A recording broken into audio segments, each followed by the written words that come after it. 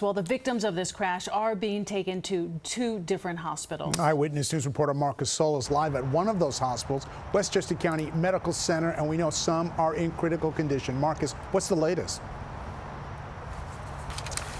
Well, Sade and Dave, it was uh, this afternoon that a code was sounded in the hospital, alerting medical staff that a major event had taken place and to prepare for an influx of patient, patients. Currently, three patients here at Westchester Medical Center. The hospital yet to confirm their ages or conditions, but we know this is a level one trauma center where the most seriously injured are often brought here by helicopter uh, from, uh, from uh, locations as far as Sullivan County. And so earlier, there were two helicopters here here, which is unusual in itself because those helicopters are not staged here. They're held elsewhere and then they arrive here with patients. Uh, and so we saw two helicopters on the grounds here of Westchester Medical Center. Now, we mentioned that uh, code triage that was sounded, that mobilized between 50 to 100 uh, doctors, nurses, support staff, other medical personnel from all parts of the hospital to prepare for these patients that arrived earlier today. So we know there are three patients here, and uh, they were also uh,